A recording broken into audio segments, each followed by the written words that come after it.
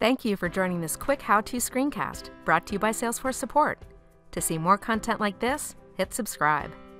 In this video, you'll learn how to import data and create a dataset in Salesforce Maps territory planning.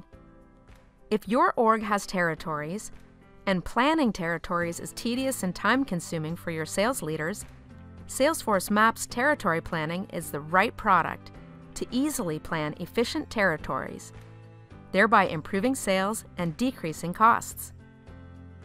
To create a dataset, you will first need to import data by either using reports or using SOQL query.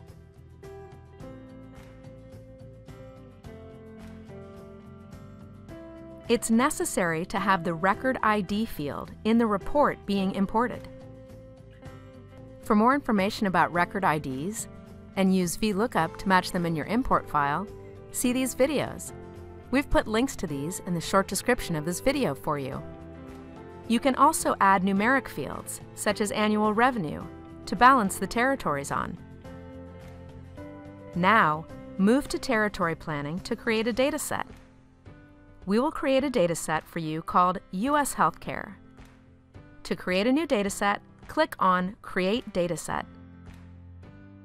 You'll then have to fill in the information and select a territory boundary you want to work with, such as U.S. postal codes.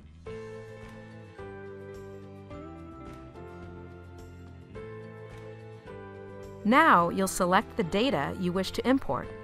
You can select multiple reports, search for reports, or create a custom SOQL query by clicking on the Create Custom Query button. In this case, we will go ahead with the report we created.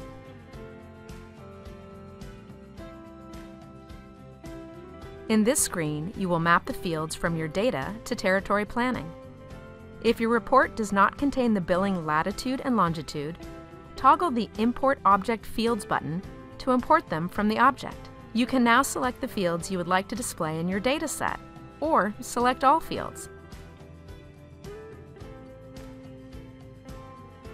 You now have the new U.S. Healthcare Dataset. For more information, check out help.salesforce.com or join us on the trail at trailblazer.salesforce.com.